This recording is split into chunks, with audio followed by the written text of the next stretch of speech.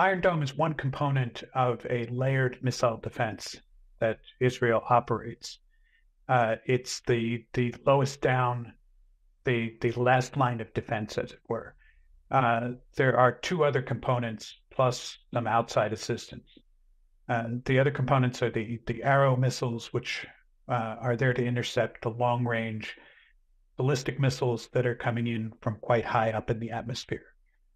Uh, it's not clear if this operated against the Iranian attack. The the mid layer is called David's Sling, and it's against more intermediate range threats. Uh, this is clearly what did a lot of the work in the attacks over the weekend. The Iron Dome is the the last layer, and it's site specific. It's around Israeli population centers and military facilities. Uh, there are a number of Iron Dome sites around Israel, and it would have participated in shooting down the incoming drones and missiles in the last stages of their flight.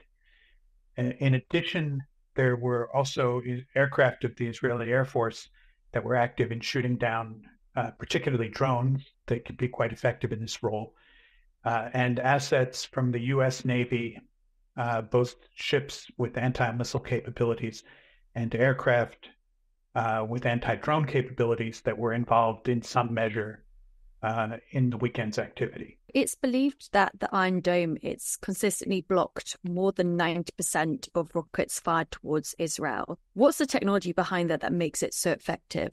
It's a system of radar that detects incoming objects, uh, missiles and drones and things like that, uh, that is connected to uh, short range batteries of anti missile missiles. Uh, there are a number of different technologies that are in use. Uh, some impact on the incoming missile, some explode in the area and try to destroy it with the, the explosion. When we look at the Iron Dome and as Israel's defense strategy, do you think that that's had an influence on enemy states and how they conduct their warfare? You know, some might be quite surprised that Iran launched all these airstrikes, knowing that this Iron Dome has been so effective at countering them. Uh, the important thing to, to consider is why Israel missile defenses, in particular Iron Dome, were created.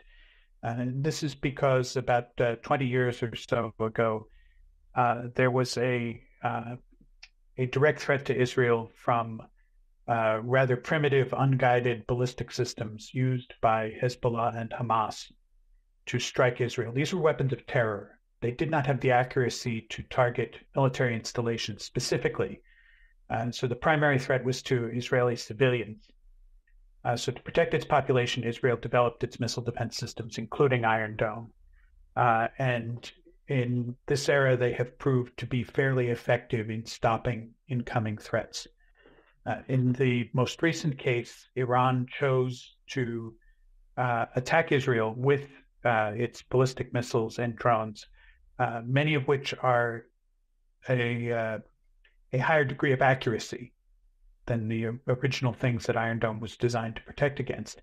Uh, but Iron Dome is still effective against most uh, short range and medium range uh, missile and drone threats. Uh, Iran likely decided on this option uh, because uh, this is a capability that it had. there is no proximity between Iran and Israel, and so this was a way to strike Israel from a distance. it's also a, a mathematical calculation. Uh, when you think about missile defense, it's uh, the the defending things, the interceptors, are much more expensive than the incoming ballistic missiles. Uh, so it's possible, in the economic sense, to overwhelm defenses. Uh, and you saw that happen because a few of the missiles did get through. A very small number. Uh, so I think it, it should be accounted as a success for Israeli missile defense. But nevertheless, there were still some things that were able to get through it. There is a, a, a significant difference in types of missile defenses uh, based on what is is coming in and what you're trying to defend against.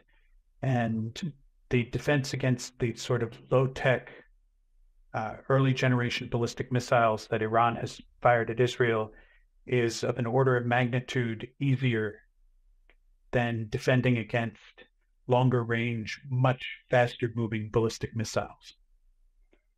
Uh, so we and and and also the kinds of missiles that Russia is using in Ukraine. Uh, so we have some some uh, non-experts saying things like uh, Ukraine should have Israeli missile defenses. Well, the threat that they are responding to is much greater. Russia has much better technology. Uh, so it you you can't simply put an iron dome around Kiev and think that it's going to be completely safe. Uh, it's a much more complicated set of engineering problems. Uh, so as, long as, as that is clear, uh, I don't want my assessment of Israeli missile defenses to be extrapolated as uh, we could stop all Russian or all Chinese missiles if they were to launch them at Taiwan or uh, what was it that Medvedev said? It, it create a tsunami that will wipe London off the map. But Russia is still able to get some through, and that goes back to what I was saying about the mathematics of the thing. It, it's always possible to overwhelm missile defenses by just firing more things at your target. And in terms of Iran's arsenal, how would you say that it compares with Israel? Do you think that this most recent attack by Iran shows its full capabilities? Uh, it's probably likely the full capabilities as far as missiles go. Uh, Iran is a is a larger country than Israel, obviously, but Israel maintains a significant technological advantage when it comes to a military confrontation. Uh, so I think neither side wants to go to a full blown uh, conflict because it would it would not be in either's interest, and the degree of death and destruction would be large on both sides. What's your thought on Iran's nuclear capabilities? Uh, Iran has uh, a certain level of nuclear technology. Uh, they are enriching nuclear materials at a greater rate than before. Uh, they are not yet capable of producing a nuclear weapon, uh, nor do I think have they made the decision uh, to go to where they can produce a nuclear weapon. Uh, that said, I think it is very clear that the policy of the Iranian government is to do everything they are allowed to do under the Non-Proliferation Treaty, short of producing a weapon. Uh, so that in the case of a national emergency, uh, an emergency of the sort that that a nuclear deterrent would, in their minds, be helpful. Uh, and I emphasize in their minds because I don't think it's ever very helpful.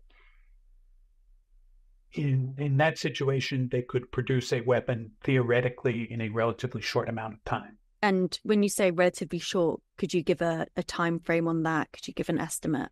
That's always a, uh, a very difficult question. Uh, most experts and i'm not a scientist so i don't uh, understand the physics very well uh, but most of the people who do would say it would be in the area of months Israel said that they will retaliate in response to these attacks from Iran. How do you think that's going to play out?